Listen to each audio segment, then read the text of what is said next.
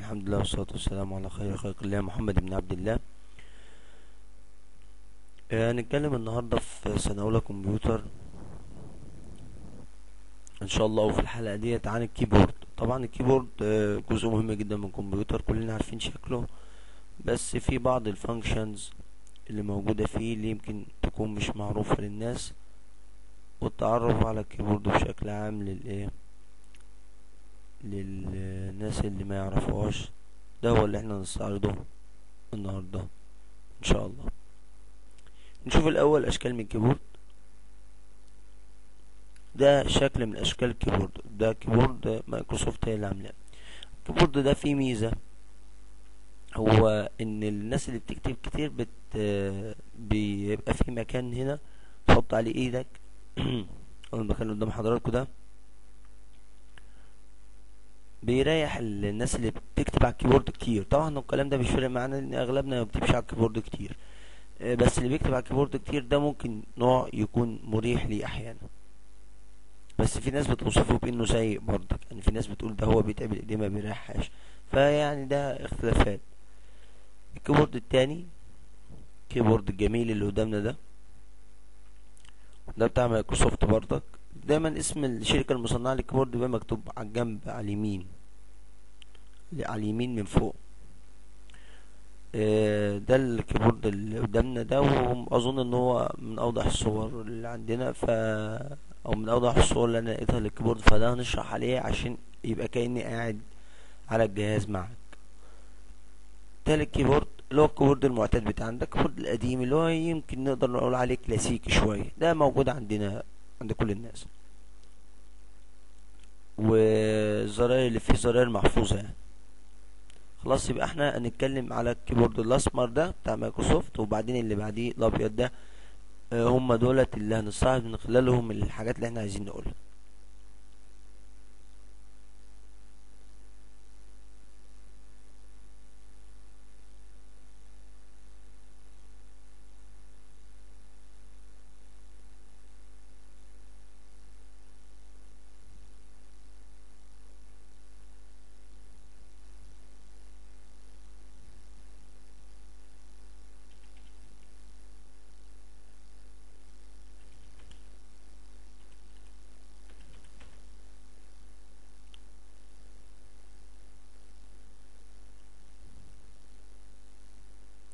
قدامنا ال keyboard. اهو نبدأ نتعرف عليه في الأول.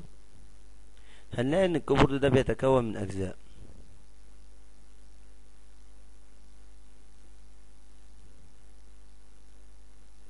ال keyboard يتكون من أجزاء. أول جزء هنلاقيه هنلاقي الجزء ده. قلنا عليه قبل كده إن هو الجزء بتاع المحاسبين. يعني الناس اللي بيشتغلوا في الحسابات أو لو حضرتك رحت تدفع فاتورة التليفون هتلاقي دايما الجزء ده عند الراجل اللي بيدفع اللي بتدفع له فاتورة التليفون متخرب لأن هو ما بيستخدمش غيره أصلا. بقيت ال... الحاجات التانية دي بيستخدمها بشكل طفيف إنما لو بصيت على ده هتلاقي الزراير بتاعته مهرية وهتلاقي الأرقام ممسوحة من كتر ما هو بيستخدمه ليل نهار. فهو ده. الجزء ده ممكن ما يبقاش شغال. لو اللمبة ديت زي ما هي وضعتها دلوقتي كده. هي دلوقتي اللمبة لونها أخضر بس هي مش مخضرة اللمبة مش منورة. فأنا عشان أنورها بلاقي الزرار ده هو اللي هو النام لوك ده.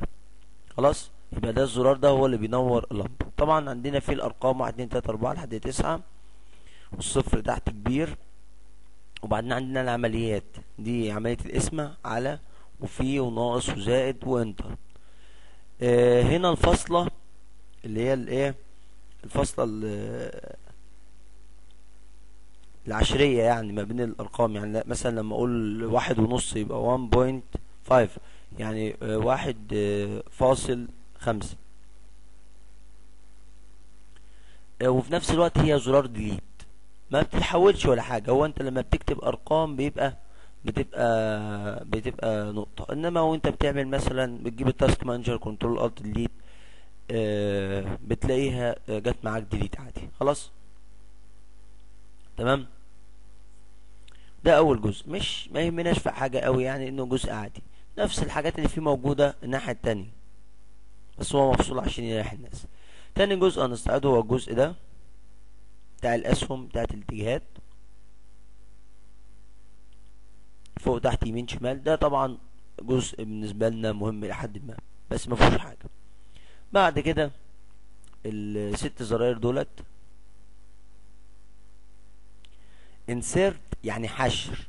بمعنى بمعنى إن أنا لما أكون آه، يمكن بتوع البرمجة يستخدموه شوية يمكن بتوع يعني في ناس ممكن تحتاجه إنما في ناس تانية ما تحتاجوش حاجة.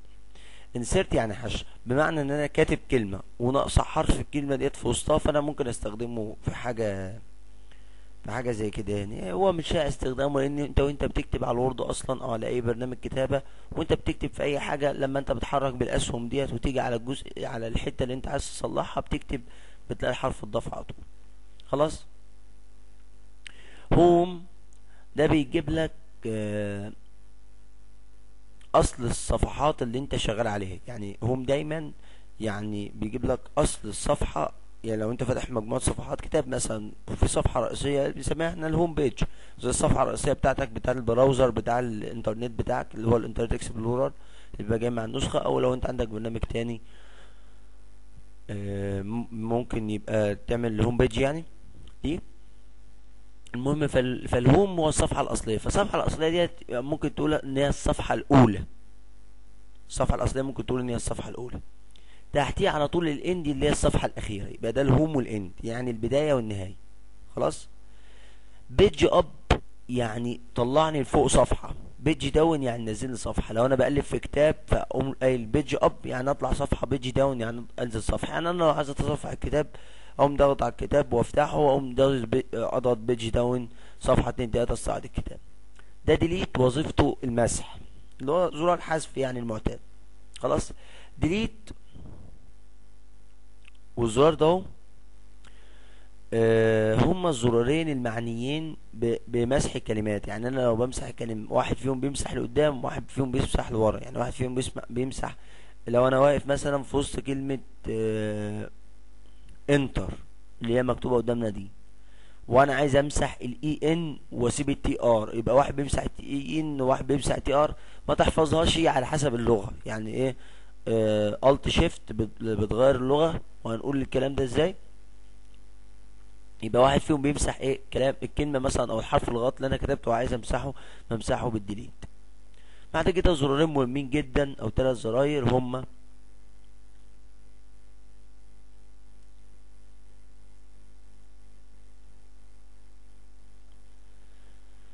المسطرة اللي هي الزرار الكبير ده الإنتر الزرار الكبير برضو بس المسطرة بتبقى طويلة ال- الإسكيب. المسطرة دي وظيفتها الأساسية وأنا بكتب إن أنا آخد مسافات ما بين الكلمات. الإنتر وظيفتها إنها تدخلني على أي حاجة. يعني أنا بدل ما أضغط ضغطتين شمال على أي حاجة عايز أشغلها آه، ممكن أقف على الحاجة وأعلم عليها. بمعنى إيه أعلم عليها؟ أنا عندي دلوقتي أنا عايز أفتح دي فهضغط عليها ضغطتين. كويس؟ عشان تفتح. لو أنا ضغطت ضغطة واحدة ازرقت اتحول لونها لأزرق. يعني هيبان هنا. آه، لا دلوقتي أنا فتحتها. أنا عايز أعلم عليها بس. يبقى هي لما تزرق كده اسمها إيه؟ to be selected. يعني يعني اتعلم عليها. خلاص؟ يعني هي مختارة selected يعني. إن إحنا اخترناها. إن إحنا آه معلمين عليها. فبعد ما أعلم عليها وتزرق كده ممكن أضغط عليها enter فأضغط عليها enter أفتحها بدل ما أفتحها بالماوس يعني. بالضغطتين بتوع الماوس كويس. ده ال enter. ال escape بقى وظيفته إن هو بيخرجني من قلب الحاجة اللي أنا فيها. يعني أنا كنت بتفرج على فيلم فيديو و... وعايز و... وعامل full screen يعني مخلي الفيلم مالي الشاشة كلها. وعايز أخرج منه. فلو ضغطت على escape بيخرجني من وضعية ال- ال full screen دي. كذلك لو أنا جوه لعبة الألعاب دايما بتبقى مظبوطة على إنها تبقى full screen يعني اللعبة لوحدها بتملى الشاشة كلها. بتنسى ال- ال Windows والحاجات التانية اللي بره. فعشان أخرج منها بضغط على ال escape ده. خلاص. تمام. في بقى الزراير المهمة جدا اللي إحنا عايزين نعرفها control. ده ناحية اليمين control ناحية الشمال. alt ناحية اليمين alt ناحية الشمال. shift ناحية اليمين shift ناحية الشمال. ليه بقى ليه هم عملوهم ثلاثة واحد ناحية اليمين واحد ناحية الشمال. عشان المفترض إن أنت بتكتب بإيديك الاتنين. المفروض إن الإنسان لما بيجي يكتب على ال على ال keyboard بيحط صوابعه بالوضعية اللي هم عاملين لها ال keyboard. اللي هي إيه الوضع اللي هم عاملين ال keyboard إن صابع السبابة بتاع حضرتك يبقى هنا وصابع السبابة بتاع الإيد التانية يبقى هنا. يبقى الإيد اليمين صابع السبابة هنا ايد الشمال صابع السبابة هنا. كويس؟ يبقى الوسطى هيبقى هنا. الخنصر هيبقى هنا البنصر هيبقى هنا وكذلك هناك. يبقى عندي دوت الأربع زراير الرئيسية لليمين الأربع زراير الرئيسية للشمال. كده أنا حطيت صوا- صوابعي سليم على ال- بشكل سليم على ال- الأربعة الأساسيين بشكل سليم على الإيه؟ على ال keyboard. المفروض إن أنا وأنا حاطط إيديا كده إن هتلاقي صوابع لوحدها آه، اللي هما صابع الإبهام الابهام آه.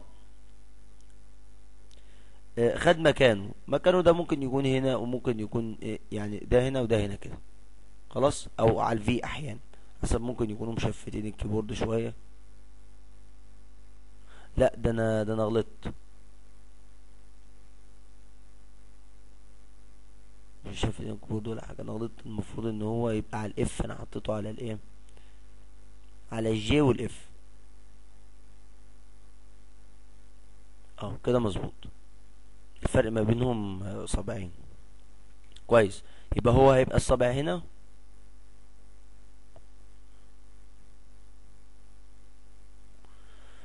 كويس كده. خلاص يبقى انت كده اسمه ده وضعيه الارتكاز ان انت ظبطت نفسك على انها مساعد للكتاب بعد كده بقى كل صابع يجيب اللي فوقه واللي تحته. يعني ده الصابع اللي هنا المفروض يجيب الحرف ده والحرف ده والصابع اللي هنا يجيب الحرف ده والحرف ده والصابع اللي هنا يجيب الحرف كل صابع من الصوابع ديت تجيب إيه؟ بتاع.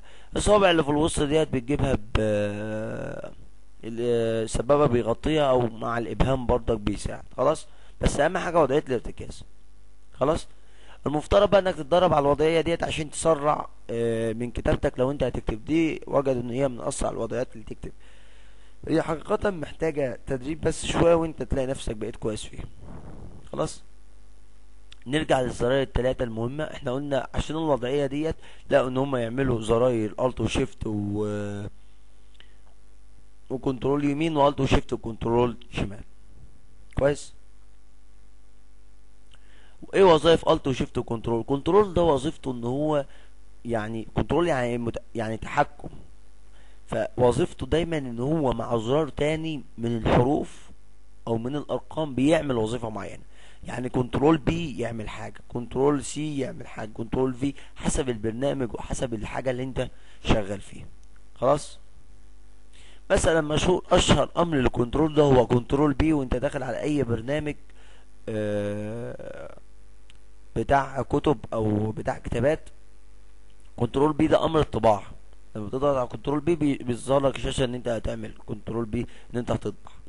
خلاص؟ فأنت بتظبط بعد كده بقى الحاجات بتاعة الطباعة عندك حاجتين أساسيتين هنا ال alt وال shift يمين وشمال ال alt و shift يمين يخليك اللغة عربي alt و shift شمال يخليك اللغة إنجليزي. طب يعني إيه alt و shift أو يعني إيه control و P control و P أو alt و shift معناها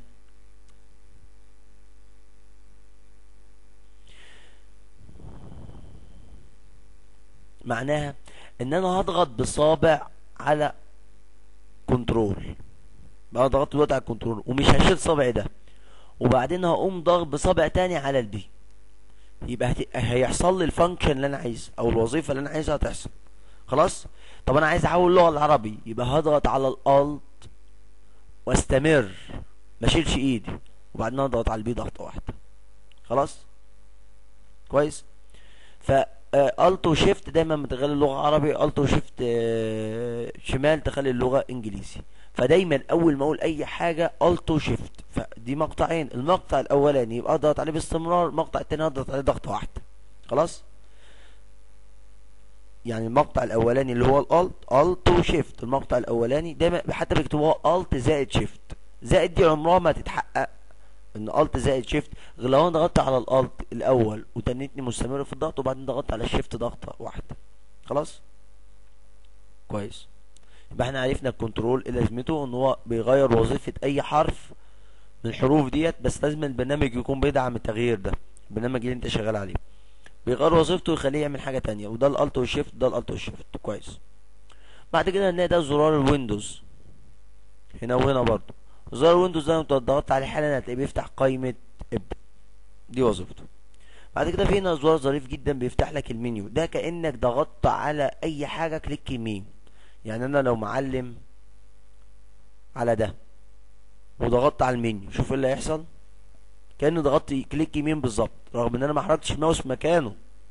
لو خدت بالك أهو أنا هضغط هنا. وأروح بالماوس بعيد. وبعدين هضغط على الزرار ده. كأني فتحت المنيو. بعد كده بأسهم الاتجاهات. أنا هنزل دلوقتي بالسهم اللي تحت. خليني بس. بختار. بعد كده أضغط على الحاجة اللي أنا وقفت عندها enter لو أنا عايز أحذف ده حالا أضغط delete فيتحذف enter لو خدت بالك أو لاحظت هتلاقي إن كل الحاجات اللي بيعملها الماوس أو اللي إحنا اتعلمنا إن الماوس بيعملها والماوس إحنا بنستخدمه على طول آه الـ keyboard بتعملها كل الحاجات بلا استثناء. لذلك في ناس بتقول لك إن من الأجزاء الأساسية في الكمبيوتر آه الـ keyboard مش الماوس. إن الماوس جهاز طرفي. يعني يعني بمعنى دق لو أنت عايز تجمع جهاز كمبيوتر بأقل تكلفة ممكنة وخيرت ما بين الـ mouse والـ keyboard اختار الـ keyboard. خلاص؟ طبعا هم هنا بيتناسوا نقطة مهمة جدا آه هي إن إحنا ما بنعتمدش في الكمبيوتر على الكتابة وما بنعتمدش على الـ keyboard. غير ده الماوس بالنسبة للإنسان أسهل. فعشان كده يعني الناس مش مقتنعة بالحكاية ديت إن يقول لك إيه ما أصلا الـ Windows فيه keyboard.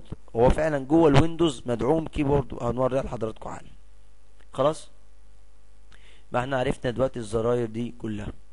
تمام هنا في caps lock ده بيخلي الحروف capital لما بضغط عليه بلاقي الزرار ده منور. يبقى عرفنا الزرار الأول والزرار التاني. خلاص؟ caps lock بيخلي ده منور. tab ده لما أنا مثلا بكون بعمل إيميل أو بكون بعمل أي حاجة بلاقي فيه مربع كده بكتب فيه الكلام.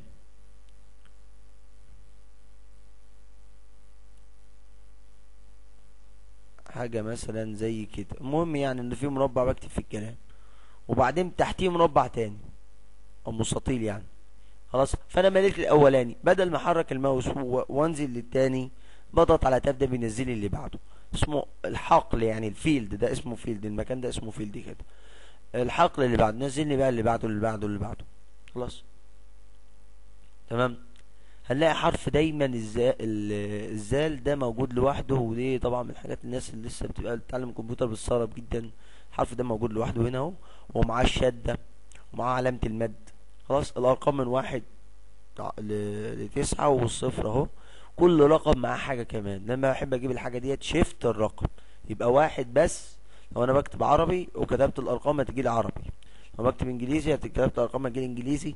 بس في حقيقة الأمر وأنا بكتب دايما بيبقى بكتب بالـ Windows أو على الـ Windows فبيبقى الـ Windows مظبط نفسه على لغة معينة والأرقام على وضع معين. يعني يعني الأرقام لو أنت كتبتها بردك عربي عملت alt shift الكلام كله هتلاقيه عربي. لكن لما تيجي تكتب الأرقام هتلاقي الأرقام إنجليزي. لأن الـ Windows في الحالة دي بيبقى داعم الأرقام الإنجليزي. خلاص؟ إحنا خلصنا كمان الجزء ده. بالعلامات اللي عليها هتلاقي بقى كل واحد فيه علامة. يعني دايما لما باجي أكتب الإيميل بكتب مثلا الإيميل بتاعي أنا إيه؟ learnonline@gmail.com فانا اكتب learnonline 1 learnonline 1 L L E A R N كده. خلصته بعدين at اللي هي shift اتنين. خلاص؟ Gmail Gmail اكتبها وبعدين dot اللي هي نقطة C O M خلاص؟ لو انت بتكتب عربي النقطة اللي هي ده هتبقى هتبقى هتبقى حرف الزين. لو انت بتكتب انجليزي هتبقى نقطة. طب لو أنا عايز اخلي النقطة في العربي بضغط shift زين. shift زين في العربي يخلي دايما أي حاجة من الحاجات دي لما بنحب نجيب الحاجة التانية بتاعتها بنضغط shift الحاجة. يعني أنا الاقي على كل حاجة. مثلا أنا لما باجي أكتب اسمي إبراهيم. لو حضرتك خلي بالك آه خد بالك طبعا هنا الإيه؟ الهمزة تحت. آه فأنا أنا عايز أكتب إبراهيم فمش هلاقي في دولت كلهم فيه همزة. فإبراهيم شيفت غين. شيفت غين. أضغط على شيفت مع الاستمرار والغين ضغطة واحدة هلاقي إيه؟ الهمزة اتكتبت تحت لأن كل دولت ما ينفعش استخدمه في كتابة اسم خلاص؟ بعد كده علامة الناقص والزائد واليساوي وعلى. هنا بقى في اللي هي بنسميها shift underscore لما اضغط على الـ shift ودي دايما بتلاقي واحد اسمه مثلا في الإيميل بتاعه كذا underscore كذا at كذا dot com فأنا لو ضغطت على shift underscore بيجيب لي الشرطة اللي هي اللي تحت شرطة تحت. خلاص؟ إنما دي الشرط العادية أو بتيجي في في الحساب علامة الناقص ودي زائد والناقص ودي على وده قلناه. خلاص وأكبر منه وأصغر منه وفاصلة منقوطة. وفي دي ده, ده الفي وده ال وده ال العلى لو تلاحظ إن ممكن في اللابتوب ما يبقاش فيه الجزء ده. وفي بعض الكيبورد أصلا ما يبقاش فيه الجزء ده. ليه؟ لأن كل الحاجات اللي موجودة فيه موجودة في التاني. خلاص ففي الـ keyboard عشان يقللوا المساحة. بيدخلوا الزراير دي كلها جوه بعض كده وما بيسيبوش الفراغ اللي موجود هنا ده. الفراغ ده معمول عشان يريح الصوابع يعني أو عشان العلامات دي والحاجات دي آه تبقى واضحة. خلاص؟ تمام؟ أظن كده استعرضنا حاجات مهمة جدا في الـ keyboard بعد كده في زرار هنا عايزين نعرف أهميته. طبعا ده زرار الـ pause أو الـ break. ده لما انت تكون مشغل حاجة ولعبة مثلا أو فلاش أو حاجة وعايز توقفها توقيف مؤقت بمعنى إنك هتروح تشرب وتيجي فتضغط عليه pause. بس حاجات كتير ما, بتشغلوش أصلا. الزرار ده print screen ده بيصور لك ال- الشاشة اللي انت بتتفرج عليها دلوقتي. يعني لو أنا عايز أصور الصورة اللي أنا بتفرج عليها دلوقتي ديت بضغط على على الـ print screen ده. كويس؟ بضغط عليه ضغطة وبعدين بروح. الرسام بروح بالرسام start accessories start all programs accessories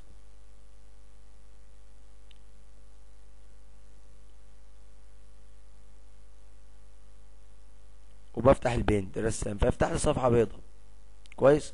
أعمل في صفحة ده- اتك click يمين هلاقي الصفحة البيضاء في الحالة دي بتتك تك click يمين وأعمل إيه؟ وأختار paste أو أعمل control V control مع الاستمرار دايما معناها paste control مع الاستمرار control V يعني أضغط على control واستمر في الضغط و control V ممكن نقول لكم برضك شوية اختصارات مهمة. لما هعمل الحركة ديت في الرسام هتلاقي الص... يعني الصفحة اللي انت مصورها أو الحاجة اللي انت بتتفرج عليها ديت يعني مثلا لو في صورة مش صورة لو في حاجة معينة مشكلة حصلت لك في الجهاز. وانت عايز تبعتها لواحد تاني على الإيميل. فأنت مش عارف تقول له إيه. فأنت عايز تصور له الغلطة اللي حصل عندك. رسالة الإيرور ال- أي حاجة حصل عندك غلط. أو الجهاز شكله غريب أو الصفحه مثلا عايز تقول له إن الشاشة ديت اللي قدامك دي مقلوبة. يعني قائمه السارت موجودة فوق والحاجات تحت وأنت مش عارف تقول له الكلام ده. فالشاشة عايزاك أنت يا إما تبقى راسك مكان رجليك أو يا إما تقلب الشاشة. خلاص؟ فانت عايز تقول له الكلام ده ومش عارف فانت عايز تصورها له. ففي الحالة دي تعمل ال- الحاجة اللي أنا بقول لك عليها دي control V مثلا بس هي في الحالة دي هتتصورها مقلوبه مش مشكلة يعني بس هو ده المثال. آه خلاص؟ الاختصارات بقى control control V بيعمل paste control C يعمل copy يعني علم عن حاجة وأعمل copy control C control X يعمل cut اللي هو قص. control Z يعمل undo يعني أرجع في آخر أمر عندي. control Y بقى العكس. يبقى control Z يعني آخر حاجة أنا عملتها أرجع في كلامي يعني. control Z بيخليني أرجع في كلامي. control Y بيخليني أرجع في كلامي اللي أنا كنت رجعت فيه. خلاص جرب الاثنين وأنت هتفهم. يبقى control Z أنا مثلا كتبت كتبت ب فعايز ارجع في كلامي يعني امسح الب دي فاضغط control Z. اخر حاجة أنا عملتها اخر حاجة كانت ان أنا كتبت. مثلا كتبت حبيب. كويس في اخر حرف في حبيب دي الب. فانا عايز ارجع في اخر حرف بس. فاقوم عامل control Z. ف control Z هنا هتلاقي مسحت البي الب. لو عملت control Y ارجع في اللي أنا كنت رجعت فيه. أنا كتبت الب وبعدين رجعت في كلامي مسحتها وبعدين ارجع في كلامي اللي أنا كنت رجعت فيه. اقوم آه، عامل control Y يقوم الايه الب راجع تاني. طب لو عملت control Z control Z يبقى أنا همسح الب وبعدين همسح الي اللي هي اللي وراه. control Z control Z يبقى أنا هرجع في آخر حاجتين أنا عملتهم. خلاص؟ في حاجة بقى ظريفة هنا اللي هما ال functions اللي هما من F واحد ل F 12 ال functions دولت مش عايز أوجع دماغكم بيها مش عايز الناس يعني يكون في دماغها حاجات كتير. عايزك انت تقعد تستكشف في الحاجات كده وبعدين عشان ما نطولش في الفيديو أكتر من كده. المهم ال function ده كل زرار منهم بيختصر عليك حاجة. يعني function يعني وظيفة. فكل زرار من الزراير دول بيعمل حاجة لطيفة. يعني بيعمل بيختصر عليك إنك تخش حاجة تجيب حاجة تدور عليها أو تعمل كذا خطوة. يعني أنا مثلا دلوقتي أنا عايز أجيب ال support أو ال help بتاع ال Windows اللي قدامي ده. بمعنى بمعنى إن أنا عايز مساعدة من الجهاز. ففي حاجة اسمها ال help and support center هيطلع لي مساعدة وهيقعد يحكي لي وهعمل search و حبة حاجات كده. فأنا عشان أجيبها بعمل خطوتين start وبعدين بختار اللي هي دي ال help and support center هيفتح.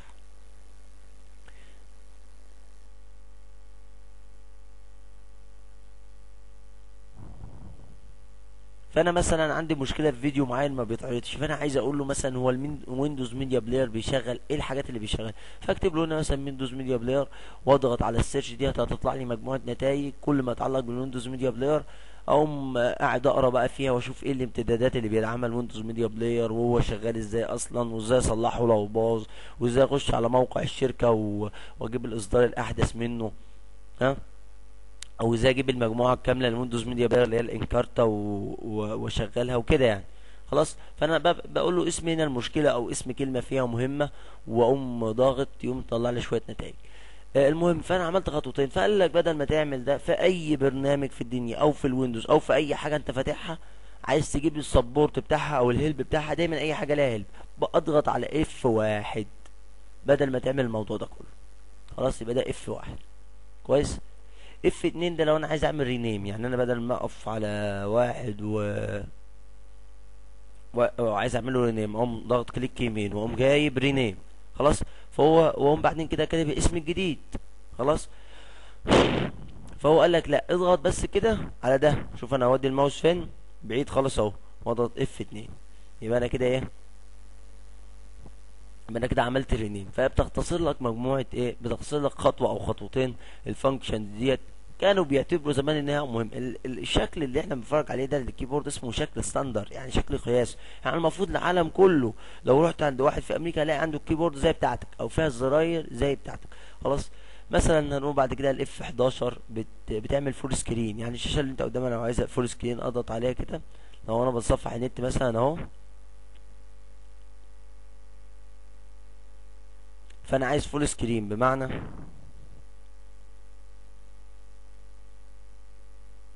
ما أنا عايز ال ال ال الكلام اللي أنا مسجل اللي عامله ده يملى الشاشه فاضغط على F واحد. هتلاقي مالت الشاشة الكلام ملا الشاشة. F 11 قصدي مش F واحد F 11 خلاص؟ ما أظنش إن في حاجة تانية ممكن نستعيدها هنا. F 5 بتعمل refresh أنا بقول على أشهر الزراير أو أكثرها شيوعا يعني. خلاص. شكرا لكم على حسن استماعكم وآسف إن أنا طولت عليكم. والسلام عليكم ورحمة الله وبركاته.